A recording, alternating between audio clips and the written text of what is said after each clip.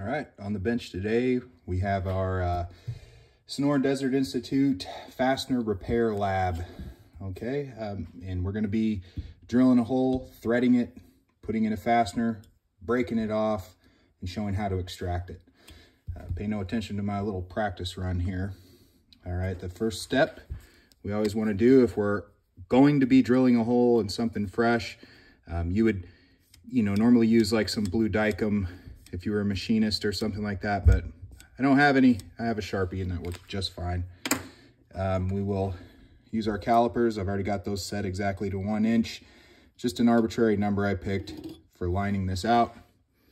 Uh, so you make your one inch and then you put the uh, edge of the one, one end of the calipers onto hopefully what is a uh, nice square machined edge. And you can see where they cross. That intersect point is our one inch by one inch uh, setback. Now, we're gonna use our center punch. All right, and that's gonna start. It's gonna give us a little indentation so that our drill bit doesn't go walking around on us. Okay, so get that on your uh, intersect point. Give it a good tap. This is aluminum, so it doesn't take a whole lot. You get that going. Next step, we're gonna use our, oh, what are we calling this guy? Uh, center drill bit. I never used, never used one of these. I've always just started with a smaller bit and worked my way up, but you can see what we're dealing with here. You're just gonna drill until it gets up to the shoulder. And again, it just gives you a more uh, secure place to start your drilling from.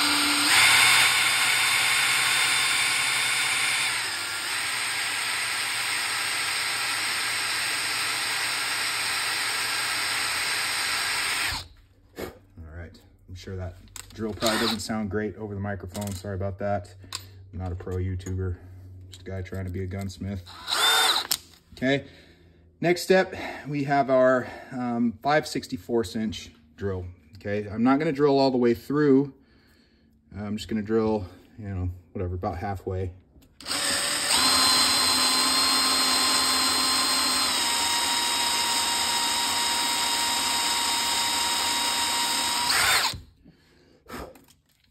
There, we're going to grab our tap. This is a 648 tap. Um, I've got it in my tap wrench and we just start threading that in there and just about every turn to turn and a half, you're gonna rotate it back to break the chip off, okay? So it doesn't bunch up in there. You are cutting threads into the sides of the hole that you just drilled in this aluminum. And aluminum taps fairly easily. Uh, obviously, the harder the steel is, the harder it's going to be to tap. Uh, there are some tap drills that cut the hole and thread it as it goes. I've never used them personally. Um, I haven't done a whole lot of machining. I've done some bolt extraction from vehicles, things like that. that wasn't exactly as precise as gunsmithing work goes. Uh, if you do break off a fastener or someone brings in a fastener, it's probably more like uh, that has been broken off in an action or something like that. You're gonna need to know how to extract that thing. And if you can hopefully do it without uh, messing the threads up,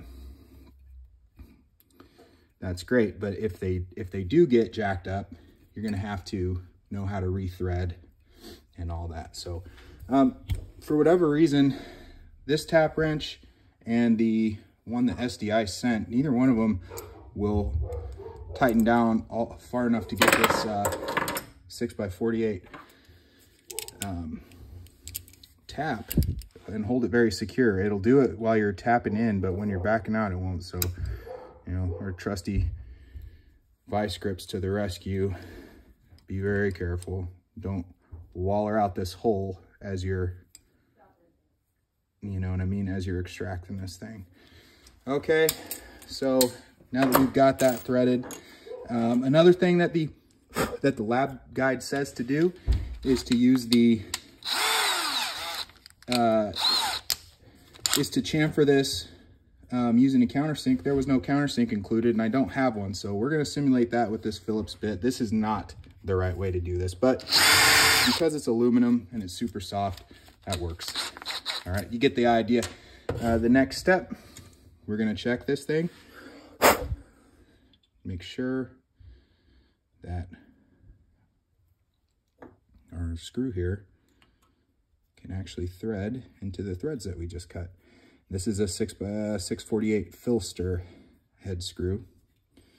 All right, we're gonna screw that down until it bottoms out. I'm sorry for the view, guys. This is not the best angle for this.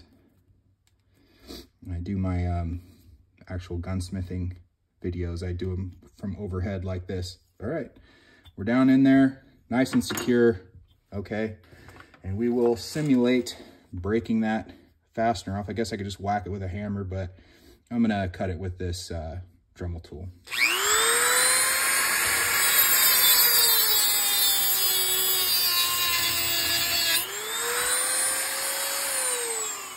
All right, many a nice firearm has fell victim to the gun, uh, the kitchen counter gunsmith with the drill, uh, with the Dremel tool, right? So now, how do we get this out? Well, because this uh, Dremel tool doesn't cut flush, it's got the little arbor deal that holds it on there. You might be able, in some instances, to get, like I could get these, I can get a grip on, on here with my needle nose. Uh, maybe if I use the vice grips, I could really grab it. But for the sake of the lab, um, we're going to go back to our center punch. All right, and what we're going to do is drill and use our, uh, we always called them easy outs, but I guess that's a brand. Um, this is a screw extractor. And we're to use that method to get it out. So once again, this really matters. You got to be in the center because if you uh, if you start your hole off center, on this screw and you start drilling into that thing, you can get into the uh, workpiece real quick and tear up your threads. The whole point of this is try and save the threads on the on the uh, on the part here. All right, let's give it another one. That's way harder than that aluminum, huh? Okay. All right, and again, I'm going to use my centering bit. This little guy. These are handy.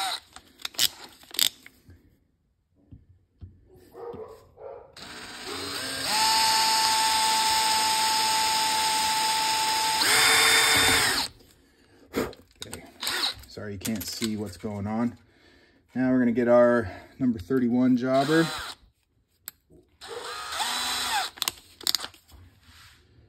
Drill as far in there as we can.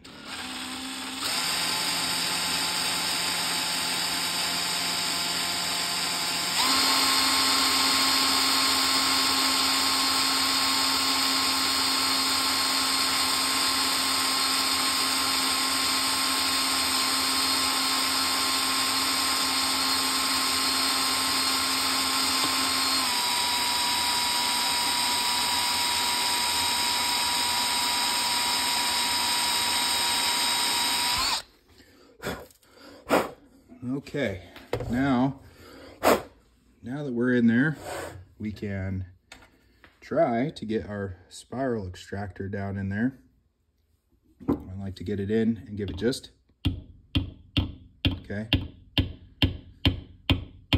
hardly a tap. I can feel that every time I tap it, spinning in just a little more and a little more. These are uh, reverse thread, okay? So as we're, as we're, uh, loosening, it's digging in harder into that screw and backing the screw out simultaneously, right? So we'll go back to our, uh,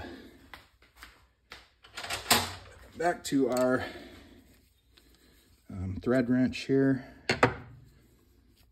tap wrench, sorry.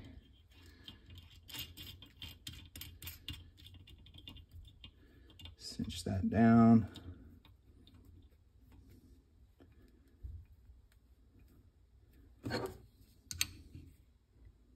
Okay. See.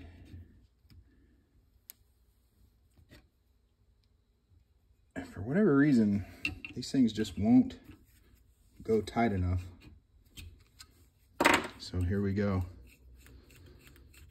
The old crescent wrench to the rescue, huh? Looky there.